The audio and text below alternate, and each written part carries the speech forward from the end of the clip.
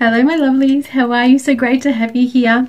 So this is what I look like with hair. Um, this is just a really cute synthetic wig that um, I picked up on Wish or eBay a while ago just for funsies and today's look is really going to work with this wig. So of course I had to put it on. This is probably my dream colour. If I um if I could, I would probably have had this colour in my hair naturally. I just, yeah, I've tried many times, but my natural hair colour is way too dark and my hair is way too fine.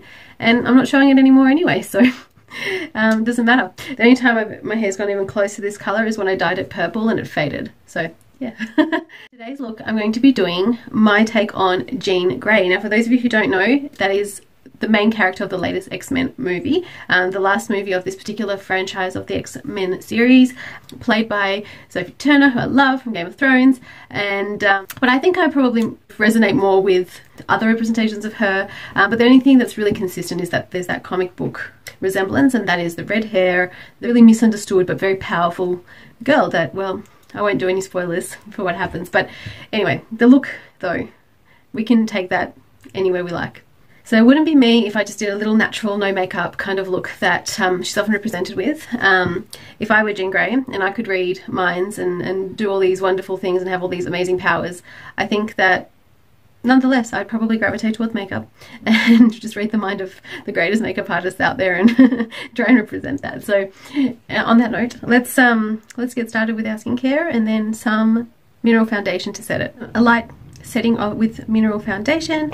I've got my sun cream under my eyes and I even bring it up to where my brow is. Um, in my work I do see a lot of skin cancers around the eyelid area so don't be afraid to bring your sun cream closer to your eye area, it needs it too.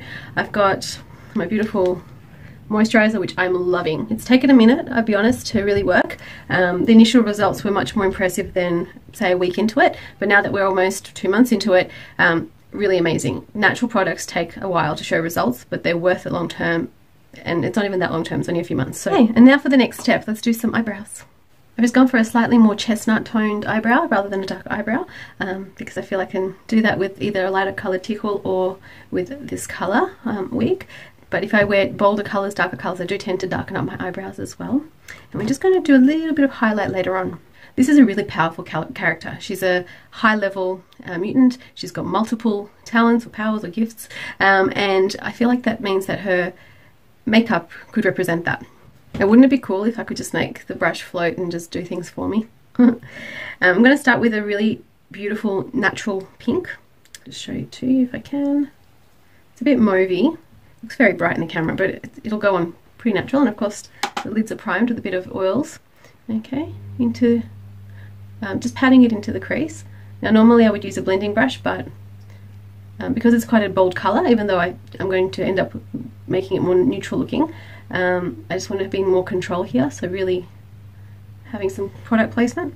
I'm going to take this blending brush and I'm going to go into a bit of a neutral colour there and just smoke it out into the upper part of the arch. I'm going to take a concealer now, an actual concealer. Um, I'm just going to cut out that inner corner a little bit. Okay, so it just looks like that, very, very lightly with a flat brush. I'm going to take a shimmery pink, that's a bit lighter than the one that I used there, and place it into the corners.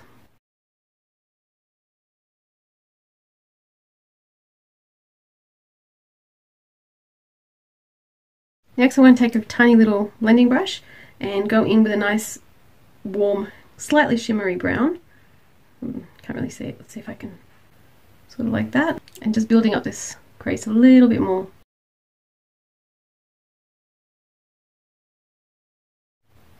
Just blending it out.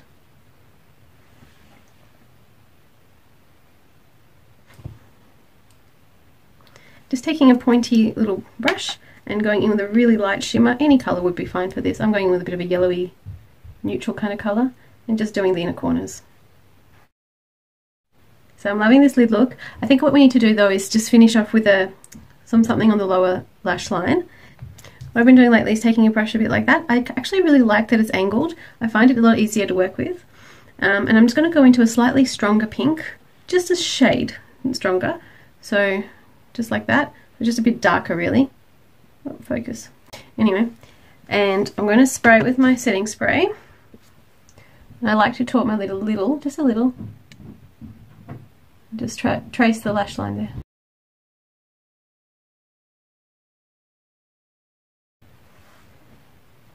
Okay, next we're going to have some really good fun. The one thing I always feel that redheads look amazing with is green. So I've got this amazing pencil. This is an older packaging um, of the eye definer. It's the colour Jade and it's a bit metallic in its, or shimmery in its quality, um, but it doesn't scratch or irritate the eyes, which is really lovely. I'm going to start with the wet line and I'm going to bring it out following that pink line. Okay, next I'm just going to bring it up into the, just the outer edge taking a small brush, it doesn't even matter if it's got product or not, I'm just going to smudge it a little bit.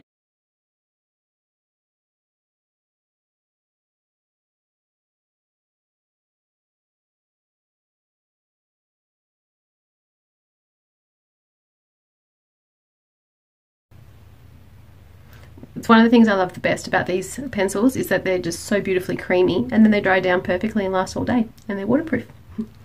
Okay, hope you don't mind the singing in the background if you can hear it. That's just my little one having a blast. Um, I'm going to finish up with some mascara and as always just brushing out the edges rather than building up the roots.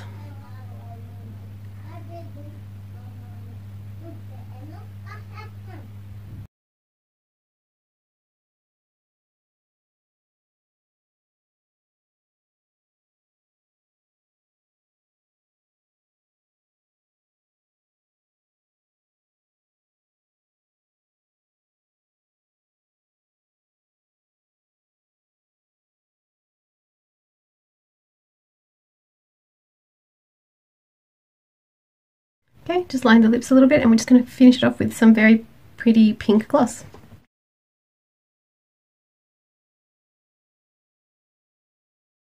Okay, now that that's all done, I'm actually going to go back now and do my bronzer. Because I've not really ever worn hair like this, I didn't really know how strong I wanted to make my contouring. Um, so I thought I'd leave it to last and see how the makeup went and how all the colours blended first. So I'm actually going to go quite light. Don't know why, I just feel like that's going to be the way to go. Maybe because my brows are lighter, my makeup's quite subtle um, for me in terms of colours and things like that. So I might just leave it a bit more natural looking. Okay, contouring time.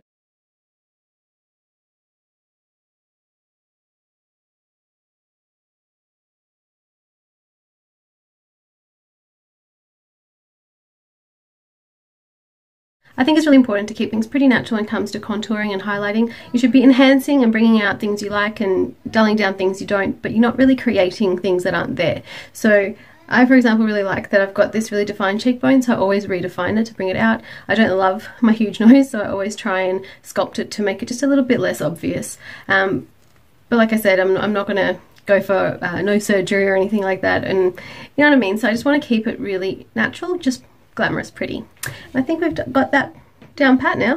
Alrighty, so I'm going to leave it there. I think I've nailed the Jean Grey thing. I love the hair. I think the makeup is natural enough to represent how she's normally drawn in the comics and um, how they've done her up in the movies but still true to who I am and what I would be like if I also happened to have these mutant powers. Anyway, I hope you guys enjoy this look. I hope you try some of these things at home. Um, and thank you as always for coming along on the journey with me. I really love having you here. I hope you can hit the like and subscribe and sh shout me through a comment come over to my Instagram and see what we're doing there as well because I'm going to be working a lot more on my feed in the coming weeks um, because I'm really enjoying it. I really, really love all of this process and I really love that you guys are along with me. Have an amazing day and I'll see you next time. Bye.